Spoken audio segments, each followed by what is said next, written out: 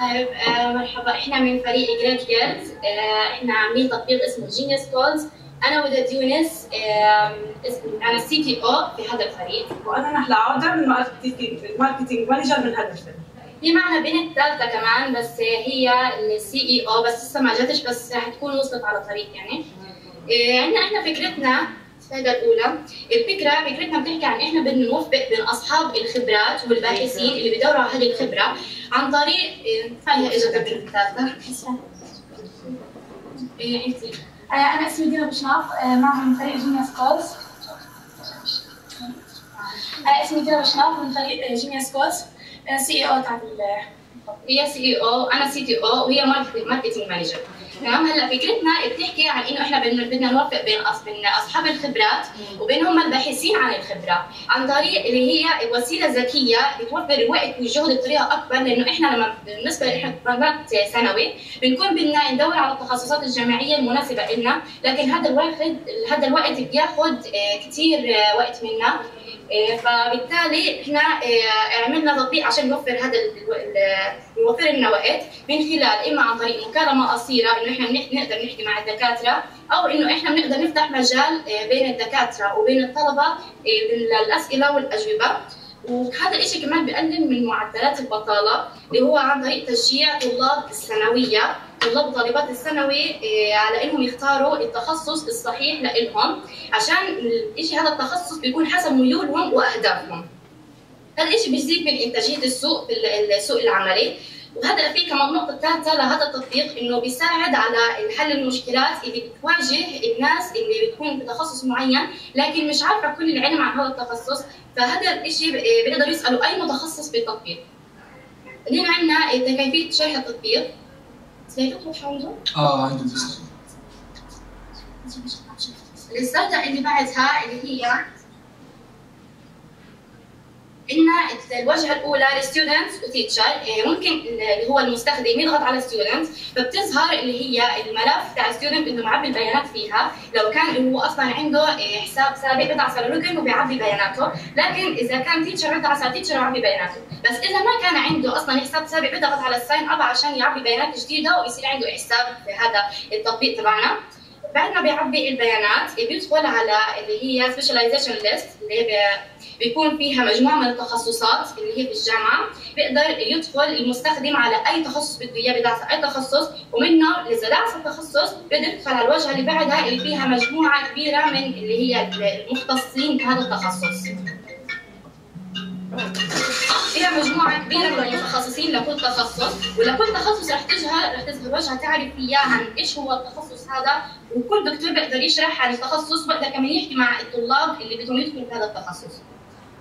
ال business model وال business كيفية الربح حنربح منه من خلال اشتراك premium حيكون أول مكالمة مجانيا بربع ساعة. حياخذ من الطالب دولار ونص كل شهر و15 دولار سنوي. حيكون كيفيه لما يدفع حيكون من خلال بطاقة الائتمان اونلاين أو من خلال مقر Gaza Sky Geeks.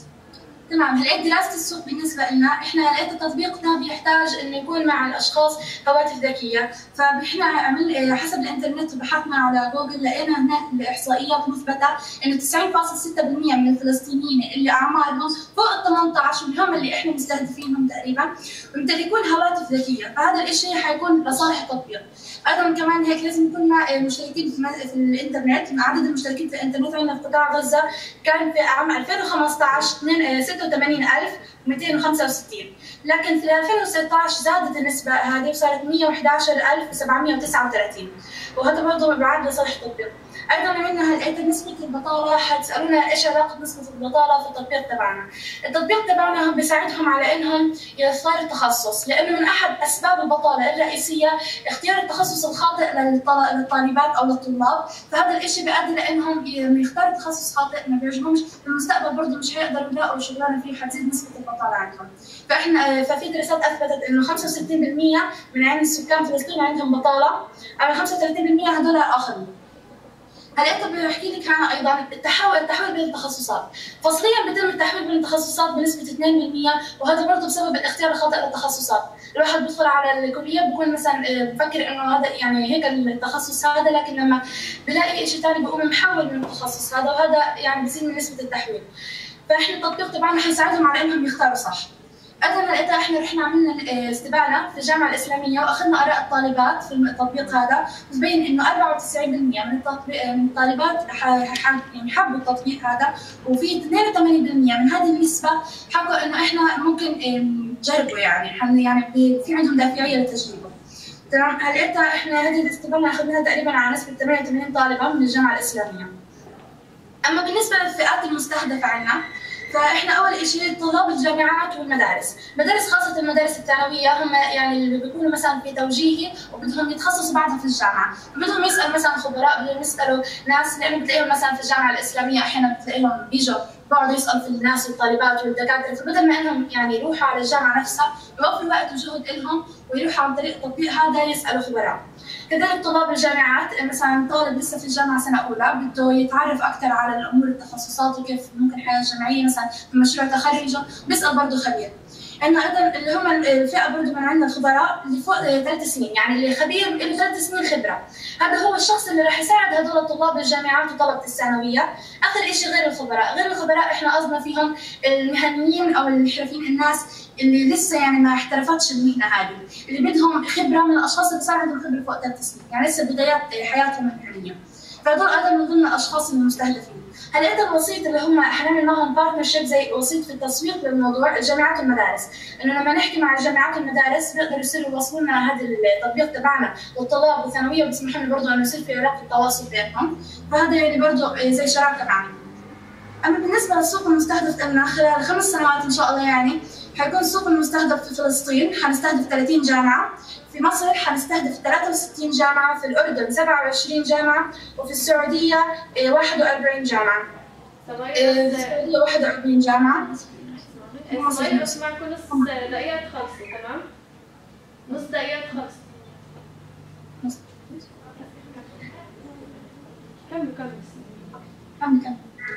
طيب. بعدين عندنا المنافسين اللي إحنا بننافسهم هم في ال social media. ان إحنا مزايا في التطبيق بتنافس ال social media هي مش موجودة في ال social media. اللي هي المزايا الاولى أول مزايا عندنا إن إحنا عندنا إمكانية إجراء مكالمات بدون إنترنت. لكن في ال social media معروف إنه لازم يكون في إنترنت. لكن عندنا ضمان استجابه المكالمة. فيها إنه في مجموعة كبيرة من الدكاترة رح يكونوا بيجاوبوا على أي مكالمة أو أي سؤال بيجيهم ال social media مش دائما بيكون متاح لإنه ممكن يكون بالنسبة له الناس غرباء مش دائما بيرد أو بيقبل طلباتهم أو إنه بيكون انشغاله ما بيسمحش إنه يرد على كل الناس. لكن بالتطبيق عندك أكثر من دكتور وأكثر من مختص إنك أنت تقدر تسأل أي حدا وضمان المكالمة. تجميع الخبراء في مكان واحد إنه إحنا عندنا أكثر من مختص باكثر من اختصاص واحد. مجموع الاختصاصات عندنا مختصين كثير وجود تصنيفات للتخصصات في المناطق إيه لكل كل كل اختصاص قلت اختص خلص الوقت.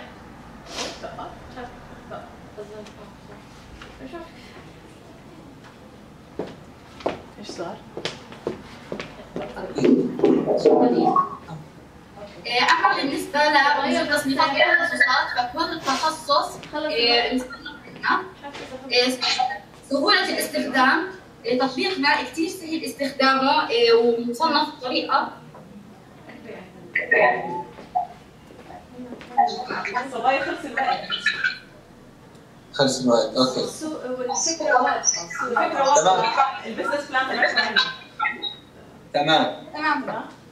بتحبوا أنا okay هلا معكم أربع دقائق أسئلة من الحكام هلا نبدا في الأسئلة سامعيني؟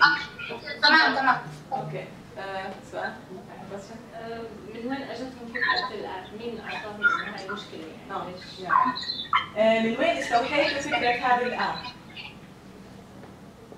استوحينا فكرة الآب إنه عن طريق لما لقينا إنه إحنا بنات ثانوي وبدنا نتخصص بس ما لقينا التخصص اللي ميولنا بدنا إياها أو ما لقينا الناس الصح إنه إحنا نسألهم. وكنا يعني عندنا هدف إنه إحنا نروح نزور الجامعات عشان نستفسر عن تخصصات أو ميولنا.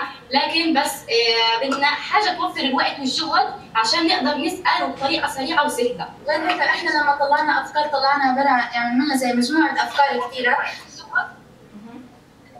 كملي كملي. آه، عملنا مج... جبنا مجموعة أفكار كثيره أول لقاء لنا وبعدها صار عملنا زي brainstorm عصف ذهني هيك وطلعنا كل الأفكار اللي ممكن ما تزبطش معنا أو اللي مش كثير حاسين حالنا ميالين لها ولما لقينا هاي ضمن الأفكار برضه قلنا نختار هي على نفس السبب اللي حكت أنا عندي comment واحدة بس بالنسبة لاسم ال app في شيء كثير عم بدل على هدف طيب.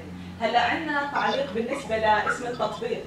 يعني اسم آه. التطبيق شوي ما لهش كثير علاقة أو بدل على الهدف تبع ال app آه قصدك عشان كلمة genius بس آه. هو عشان آه، إحنا طلاب ثانوي. يعني إحنا الفئة المستهدفة الأكثر هي طلاب الثانوية. فعشان هيك كان اسمه Genius Calls calls لأنه عشان مكالمات. آه. okay. آه، هلأ أنا بدي أحكي شغلة انه تطبيقكم كثير ممتاز. أنا في نظري كأستاذ جامعة يعني أنا كثير بيجوا ناس بيسألوني وما بيعرفوا كيف يتواصلوا معي إنه عشان يسألوني شو رأيي في هذا التخصص شو تنصحيني أسوي. فأنا شخصيا لو عرضتوا علي هاي ال app ما عندي أي مشكلة إني أحط رأيي في التخصص اللي أنا بعلمه أو إيش بنصح الطلاب. هلأ طبعا إنه لما يجيك اتصال من شخص عبر ال app رح تقبليه لأنه ما رح تعرف إنه هذا الشخص مش stranger هيك جايك من الفضاء مثلا. فأنا حبيت الفكرة. I think it's doable بصراحة. بس عندي شوي تعليق على التخصصات اللي حطيتوها. يعني لو ضفتوا feature إنه يقدر المستخدم يعمل search هو يدور. مثلا أنا بدي computer engineering أو بدي شيء معين مش ضروري أشوف ال list كامل عشان أوصل للي بدي اياه هذا لل- للمستقبل طبعا. كشيء إضافي. بتضيفوه. زي ما راح التطوير قلنا على فكرة عشان إحنا برضه الوقت كان محدود ووقت مدارس وهيك فإحنا قد ما نقدر اشتغلنا عليه وبصير المستقبل إن شاء الله. بالعكس تطبيق ممتاز. أنا جربته ما فيه أي مشاكل. فبرافو عليك. تسلم شكرا. يعطيك العافيه. شكرا. شكرا لكم ومع السلامة. نشوفكم إن شاء الله. شكرا